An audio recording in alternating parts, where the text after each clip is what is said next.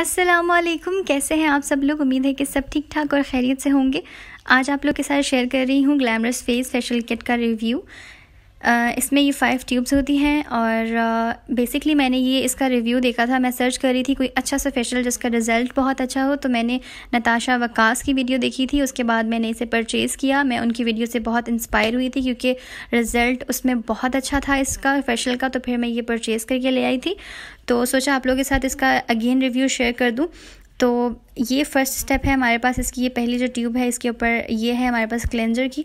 Basically cleanser करता क्या है? क्लेंजर जो है वो आपकी स्किन को क्लेंस करने का काम करता है।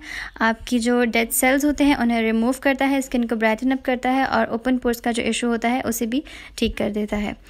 उसके अलावा ये सेकंड स्टेप है मेरे पास स्क्रब का glamorous face facial experts whitening exfoliating scrub है ये। बेसिकली स्क्रब क्या करता है? ये आपकी डीप क्लेंजिंग करता है। इससे डीप क्लेंजिंग होती है, जो पोर्स होते हैं, वो मिनिमाइज होते हैं और इसके अलावा जो है ये ऑयल जो एक्सेस ऑयल होता है, उसे कंट्रोल करता है। इसके बैक साइड पे सारे इसके इंग्रेडिएंट्स इसकी एक्सपायरी और बारकोड मेंशन है। ये इसका सेकंड स्टेप है। और बेसिकली ये मैं आप लोग को दिखा देती हूँ अंदर से, ठीक है? स्क्रब के अंदर छोटे छोटे से बीड्स होते हैं, जो कि आपकी जो स्किन होती है, आपके जो स्किन पर डर्ट होती है, उसे रिमूव करता है। उसके बाद ये थर्ड हमारे पास स्टेप है स्किन पॉलिशिंग का। मुझे इसकी ये चीज़ सबसे ज़्यादा अच्छी लगी है।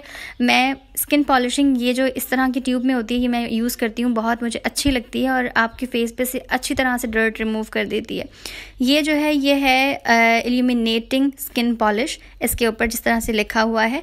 और ये क्या करती है, आपकी स्किन को इन्हेंस करती है ब्लड सर्कुलेशन को जो है वो अच्छा करती है। उसके अलावा जो है, ये डीप क्लिनजिंग का काम करती है।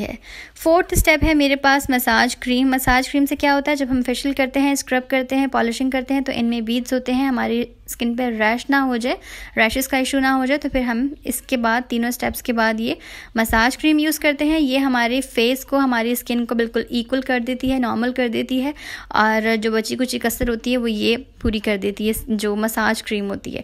ये कुछ अंदर से इस तरह से है, बिल्कुल सॉफ्ट सी ये क्रीम होती है, ये भी बेहतरीन होती है और ये, वैसे तो ये पूरी किट ही बड़ी माशाल्लाह ज़बरदस्त है।